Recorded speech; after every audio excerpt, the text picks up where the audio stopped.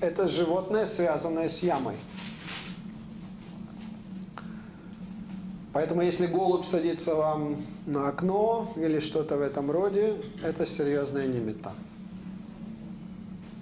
Вот недавно ко мне подходила одна ваша коллега, а голубь сел ей на окно, мама умерла вчера.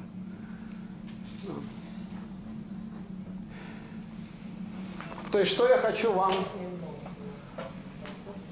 рассказать, и что я хочу, чтобы вы поняли, что собака и голубь – это не простые животные, а это животные, которые несут с собой месседж от ямы – и поэтому к ним надо присматриваться. Их поведение имеет значение именно в контексте продолжительности жизни человека и смерти. Да. Кроме того, у него есть еще ямадутта. Ямадутта – это такие, скажем так, добровольные посланцы. Волонтеры. Волонтеры, да.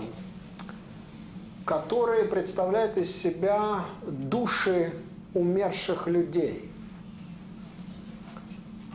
Э, которые, скажем так, вели не очень праведный образ жизни. Ямадутта. Ямадутта.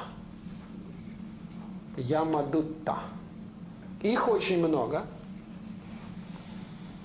И типичная история, во сне приходит умерший родственник или что-то в этом роде и зовет с собой.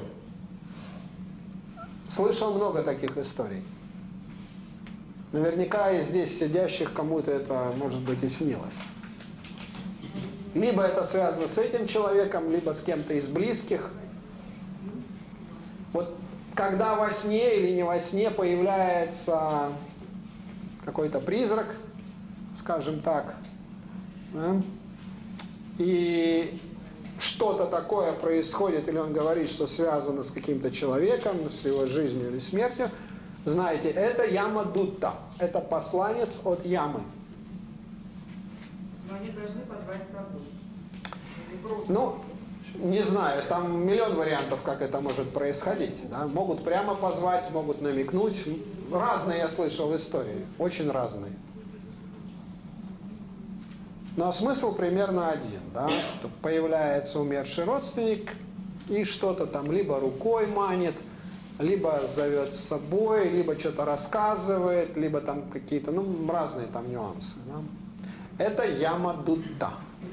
Называется яма дутта. Он предупреждает о смерти.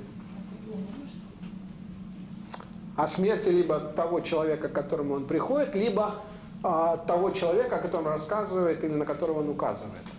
И что делать? Упаи надо делать. Единственный способ изменить карму – это упай, нет других способов. Вот у нас в семье была такая ситуация, где за две недели до трагической смерти, где погиб наш папа и его родной брат, как раз где-то за две недели у моего дяди был вот такой сон, что буквально умерший отец зовет лодку, типа причалила лодка, и он их зовет, двоих братьев, а их четверо братьев, двоих зовет, садитесь в лодку. И они сели эту водку. Вот они все пообсуждали, что какой абсурд, абсурд, а через две недели трагический опыт. И вот вам, пожалуйста. Видите, вот такой вариант тоже. Говорю, вариантов сценария очень много, да, как это происходит. То есть будьте внимательны, потому что он предупреждает, и это предупреждение делается не просто так.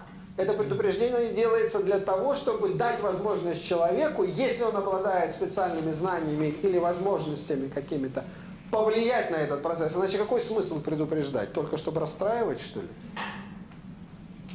Понимаете, о чем идет речь, да? Вот это классический, спасибо вам за пример, Татьяна, это классический пример прихода Яма Дутта. Тот, кто умер, у него грехи, и Яма ему говорит, так, либо пойдешь э, в ад, в потолу туда, либо поработаешь у меня На подхвате. На, подхвате волонтером, да? Все выбирают, конечно, волонтером. Вот такая интересная история. Да? Их очень много, это как бы в каждом случае это может быть по-разному. Поэтому надо внимательно, внимательно наблюдать за всем происходящим. Потому что наша жизнь полна информации, полна предостережений и предупреждений. А, только надо их увидеть. Вот мы знаем теперь собаки, эти как они, голуби и ямадутта.